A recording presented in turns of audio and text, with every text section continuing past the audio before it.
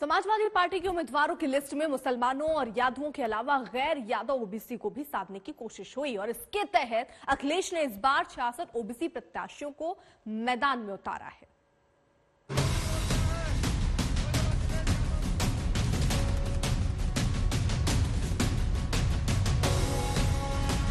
आने वाले समय में हो सकता है जनता समाजवादियों को 400 सीटें भी जितवा दे। बहुत बहुत धन्यवाद बहुत बहुत धन्यवाद ईमानदारी से अगर विजय किसी की होने जा रही है तो समाजवादियों की विजय इस बार इस बार के चुनाव को लेकर अखिलेश यादव का जोश हाई है। उन्हें सरकार बनती दिख रही है, लेकिन सवाल है कैसे? जानकारों की राय में अखिलेश के इस आत्मविश्वास की सबसे बड़ी वजह वो छोटे दल हैं, जिनके बलबूते ही बीजेपी ने अखिलेश के दोबारा मुख्यमंत्री बनने के सपने को चकनाचूर किया था। इस बार अखिलेश इन्हीं छोटे छोटे दलों को साथ लेकर उत्तर प्रदेश की सत्ता में वापस लौटने का मौका तलाश रहे हैं, जिसके लिए उन्होंने गैर यादव ओबीसी पर दांव खेला है।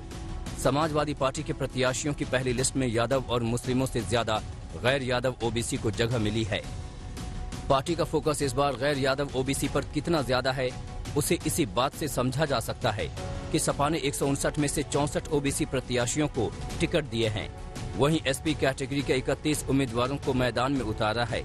इसके अलावा आठ वैश्य, सात ठाकुर और नौ ब्राह्मण प्रत्याशी उतारे हैं। समाजवादी पार्टी ने 2022 के विधानसभा चुनाव के लिए कई पार्टियों से हाथ मिलाया है। इसमें राष्ट्रीय लोक दल Suhel Dev Bharatiya Samaj party, Pragatishil Samajwadi party, NCP, Janvadi party और अपना दल प्रमुख हैं। दिखाई दे रहे हैं। ये पीला रंग लाल रंग सफ़ेद और नीला। अभी अभी आपने और नीला रंग देखा? हरा रंग सब मिल गए एक साथ हो गए हैं।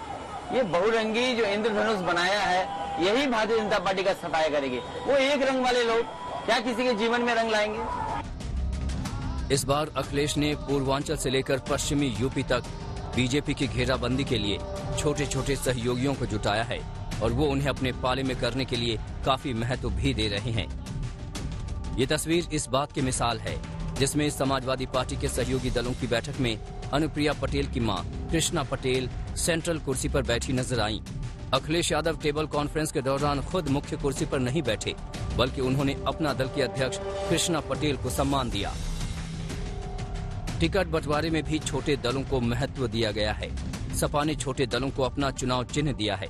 इनमें प्रसपा प्रमुख शिवपाल यादव के साथ ही महान दल भी शामिल है। महान दल के प्रमुख केशव देव मौर्य की बेटी सुमन मौर्य फरोखाबाद से सपा के चुनाव चिन्ह पर चुनाव लड़ेंगी। इस तरह बैठक से टिकट बांटने तक में मिल रहे महत्व से अखिलेश के सहयोगियों के हौसले बुलंद हैं और वो तमाम बंदिशों के बावजूद बीजेपी को साफ़ करने का दावा कर रहे हैं। पूर्वांचल की तरह पश्चिमी उत्तर प्रदेश में भी अखिलेश ने राष्ट्रीय लोक दल को साथ लेकर अपने मोर्चे को मज़बूत बनाया है। पश्चिमी उत्तर प्रदेश को किसान बहुल माना जाता है। आरएलडी से गठबंधन के बाद अखिलेश को पश्चिम में बढ़त मिलने की उम्मीद है। आज तक से ही बातचीत में अखिलेश यादव ने कहा था कि इस बार पश्चिमी उत्तर प्रदेश में सुपर क्लीन स्वीप होगा। यानी कि अखिलेश और जयंत का गठबंधन बीजेपी को अच्छा खासा नुकसान पहुंचाएगा।